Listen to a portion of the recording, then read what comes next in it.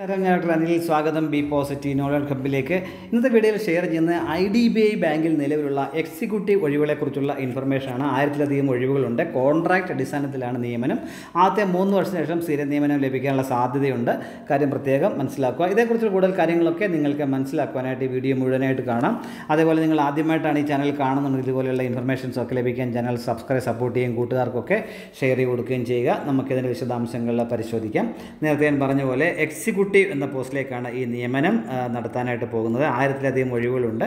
Contract അടിസ്ഥാനത്തിലായിരിക്കും. വേക്കൻസികളുടെ എണ്ണം പറയുകയാണെങ്കിൽ എസ് സി കാൻഡിഡേറ്റ്സ് നൂറ്റി അറുപത് എസ് ടി അറുപത്തിയേഴ് ഒ ബി സി ഇരുന്നൂറ്റി അൻപത്തഞ്ച് എക്കണോമിക്കലി വീക്കർ സെക്ഷൻ നൂറ്റി മൂന്ന് അൺഡിസൈഡ് കാൻഡിഡേറ്റ്സ് നാനൂറ്റി അമ്പത്തൊന്ന് ഒഴിവുകൾ ആയിരത്തി മുപ്പത്തിയാറ് ഒഴിവുകളാണ് ആകെ ഉള്ളത്.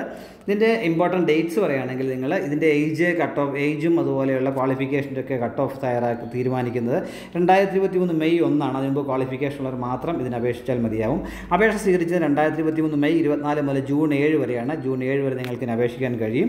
എന്നാൽ അപേക്ഷ സംബന്ധിച്ചതിന് ശേഷം ഇത് ടെൻഡേറ്റീവ് ഒരു ടെസ്റ്റ് ഉണ്ട്. അത് ജൂലൈ മൂ രണ്ടാം തീയതി രണ്ടാ രണ്ടായിരത്തി ഇരുപത്തി മൂന്ന് ജൂലൈ രണ്ട് സൺഡേ നടത്താനാണ് ഇപ്പോൾ ടെൻഡേറ്റീവായിട്ട് തീരുമാനിച്ചിരിക്കുന്ന കാര്യം കൂടി ഓർത്തിരിക്കുക. എലിജിബിലിറ്റി പറയുകയാണെങ്കിൽ പ്രായപരിധി ഇരുപതിനും ഇരുപത്തഞ്ച് വയസ്സിനും ഇടയിലായിരിക്കണം. അതായത് രണ്ടായിരത്തി ആയിരത്തി തൊള്ളായിരത്തി തൊണ്ണൂറ്റിയെട്ട് മെയ് രണ്ടിനും രണ്ടായിരത്തി മൂന്ന് മെയ് ഒന്നിനും ഇടയിൽ ജനിച്ചവരായിരിക്കണം. ഇത് രണ്ട് ഈ ദിവസം ഉൾപ്പെടെയാണ്. എഡ്യൂക്കേഷൻ ക്വാളിഫിക്കേഷൻ ഏതെങ്കിലും അംഗീകൃത സർവകലാശാലയിൽ നിന്നുള്ള ബിരുദമുള്ളവർക്കൊക്കെ ഇതിന് അപേക്ഷിക്കാനായിട്ട് കഴിയും. നേരത്തെ പറഞ്ഞ പോലെ കരിയർ പ്രോസ്പെക്ട്സിനെ കുറിച്ച് പറയുകയാണെങ്കിൽ മൂന്ന് വർഷത്തേക്ക് കോൺട്രാക്ട് അടിസ്ഥാനത്തിലായിരിക്കും നിയമനം. ആദ്യം ഒരു വർഷത്തേക്കായിരിക്കും നിയമനം ലഭിക്കുക. ആ ശമ്പളം ആ സമയത്ത് ലഭിക്കുക. ഒന്നാമത്തെ വർഷം ഇരുപത്തി ഒൻപതിനായിരം രൂപയും രണ്ടാമത്തെ വർഷം മുപ്പത്തി ഓരായിരം രൂപയും മൂന്നാമത്തെ വർഷം മുപ്പത്തി നാലായിരം രൂപയായിരിക്കും ശമ്പളമായിട്ട് ലഭിക്കുക.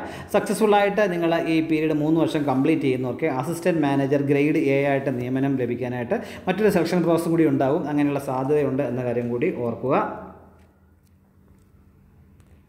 സെലക്ഷനെ കുറിച്ച് പറയുകയാണെങ്കിൽ റിട്ടേൺ ടെസ്റ്റ് ഉണ്ടാവും. അതിനുശേഷം ഡോക്യുമെന്റ് വെരിഫിക്കേഷനും പ്രീ മെഡിക്കൽ ടെസ്റ്റും ഉണ്ടാവും.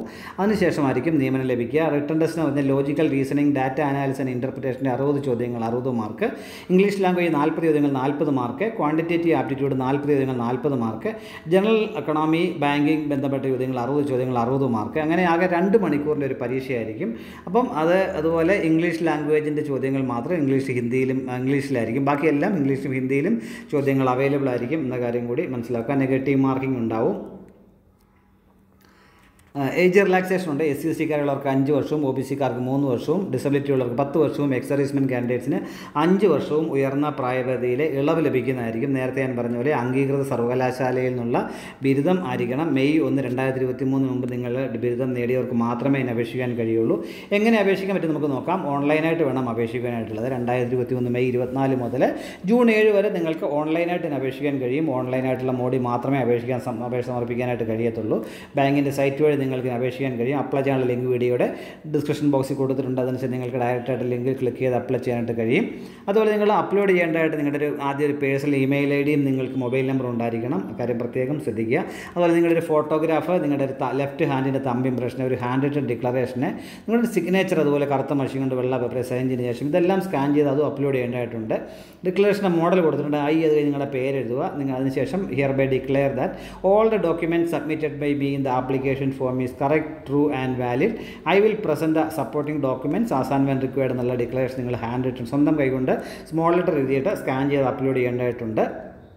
ആപ്ലിക്കേഷൻ പ്രൊസീജിയറിനെ കുറിച്ച് പറയുകയാണെങ്കിൽ നിങ്ങൾ ആദ്യം W W W dot I D B I bank dot I എന്ന സൈറ്റിൽ പോയിട്ട് careers bar current openings click ചെയ്ത് കഴിഞ്ഞാൽ recruitment of executives on contract എന്ന ലിങ്ക് ഉണ്ടാകും അതിൽ അപ്ലൈ അത് ക്ലിക്ക് ചെയ്തതിന് ശേഷം അപ്ലൈ ഓൺലൈൻ കൊടുത്താൽ നിങ്ങൾക്ക് ആപ്ലിക്കേഷൻ പ്രോ സ്റ്റാർട്ട് ചെയ്യാം. അതിൽ ആദ്യമായിട്ട് click here for new registration ഉള്ളതാണ് ചെയ്യേണ്ടത്. നിങ്ങളുടെ ബന്ധപ്പെട്ട പേര് contact details email I D കൊടുത്ത് നിങ്ങൾക്ക് പ്രൊവിഷണൽ രജിസ്റ്റർ നമ്പറും പാസ്വേഡും നിങ്ങളുടെ ഇമെയിൽ ഇമെയിൽ ഐ ഡിയിലും നിങ്ങളുടെ മൊബൈലിൽ എസ് എം എസ് ലഭിക്കും. അതനുസരിച്ച് നിങ്ങൾ വീണ്ടും ലോഗിൻ ചെയ്തുകൊണ്ട് നിങ്ങൾ ബാക്കി ആപ്ലിക്കേഷനൊക്കെ ഫില്ല് ചെയ്യാനായിട്ടും ബാക്കി അപ്ലോഡ് ചെയ്യാനായിട്ടും കഴിയും. കാര്യം പ്രത്യേകം ശ്രദ്ധിക്കുക. അതുപോലെ അപേക്ഷാ ഉണ്ട്. ജനറൽ കാൻഡിഡേറ്റ്സിനെല്ലാം ആയിരം രൂപയാണ് അപേക്ഷാ ഫീസ് എന്നാൽ എസ് സി എസ് ടിക്കാരായിട്ടുള്ളവർക്കും ഡിസബിലിറ്റി ഉള്ളവർക്കും ഇരുന്നൂറ് രൂപ ഫീസ് മതി. അത് നിങ്ങൾക്ക് ഈ പറഞ്ഞ ദിവസത്തിനിടയിൽ നിങ്ങൾക്ക് ഫീസ് അടയ്ക്കുവാനായിട്ട് കഴിയും. ഇനി നമ്മൾ പ്രധാനമായിട്ടുള്ള ഡോക്യുമെന്റ് സബ്മിറ്റ് ചെയ്യേണ്ടത് എന്നുള്ള ഏജിന് പ്രൂഫ് ചെയ്യുന്ന പത്താം ക്ലാസ്സിലെ പന്ത്രണ്ടാം ക്ലാസ്സിലെ മാർക്ക് ലിസ്റ്റിന്റെ സർട്ടിഫിക്കറ്റിന്റെ അതിന്റെ അത് നിങ്ങൾ അപ്ലോഡ് ചെയ്യേണ്ടതായിട്ടുണ്ട്. എഡ്യൂക്കേഷൻ ക്വാളിഫിക്കേഷന് പന്ത്രണ്ടാം ക്ലാസ്സിന്റെയും അതുപോലെ ഡിഗ്രി സർട്ടിഫിക്കറ്റിന്റെയും ഒക്കെ കോപ്പി എല്ലാം അപ്ലോഡ് ചെയ്യേണ്ടതായിട്ടുണ്ട്. പിന്നെ റിസർവേഷൻ വേണ്ടവർക്ക് അതുമായിട്ട് ബന്ധപ്പെട്ട സർട്ടിഫിക്കറ്റിന്റെ കോപ്പി എക്സ്പീരിയൻസ് ഉണ്ടെങ്കിൽ അതിന്റെ കോപ്പി ഡിസബിലിറ്റി ഉള്ളവരൊക്കെ അതിന്റെ copy pan card passport driving licence അതിന്റെ ഏതെങ്കിലും ഒരു ഫോട്ടോ ഐഡന്റി ഏതെങ്കിലും രണ്ടെണ്ണം വോട്ടർ ഐ ഡിയോ ബാങ്കിന്റെ പാസ്ബുക്ക് ഏതെങ്കിലും കൂടെ അതും കൂടി അപ്ലോഡ് ചെയ്യണം. അല്ലെങ്കിൽ ഈ ആധാർ വേണമെങ്കിലും നിങ്ങൾക്ക് അപ്ലോഡ് ചെയ്യാനായിട്ട് കഴിയും. ഇത്രയും കാര്യങ്ങളാണ് ഈ വീഡിയോയിൽ ഷെയർ ചെയ്യാനുള്ളത്. ഇത്രയും നേരം ഈ വീഡിയോ പൂർണമായും കണ്ടതിൽ നന്ദി രേഖപ്പെടുത്തുന്നതോടൊപ്പം ഇനി ഇതുപോലുള്ള ഇൻഫർമേഷൻസ് ഒക്കെ ലഭിക്കാൻ നിങ്ങൾ ഈ ചാനൽ സബ്സ്ക്രൈബ് സപ്പോർട്ട് ചെയ്യുകയും കൂട്ടുകാർക്കൊക്കെ ഷെയർ കൊടുക്കുകയും ചെയ്യുക. എല്ലാവർക്കും നല്ല കരിയർ ഉണ്ടാവട്ടെ. ആശംസിക്കുന്നു. Thank very much